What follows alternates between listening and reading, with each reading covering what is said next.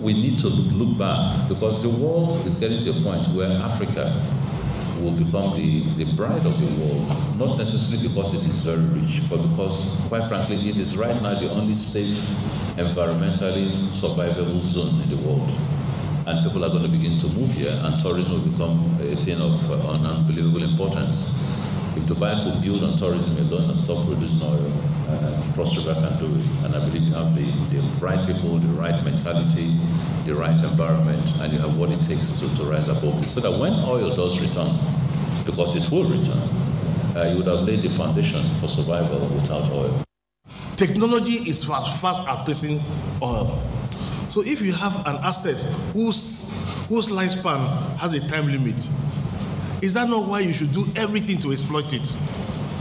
Why would you still take people through the agony of oil mining licenses when you should actually open it up, find your oil, pay our royalty to government?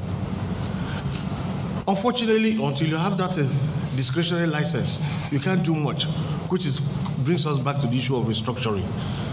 And the restructuring may not necessarily be political. You can actually restructure by way of a little amendment to the constitution, allows the federating state opportunity to exploit our resources.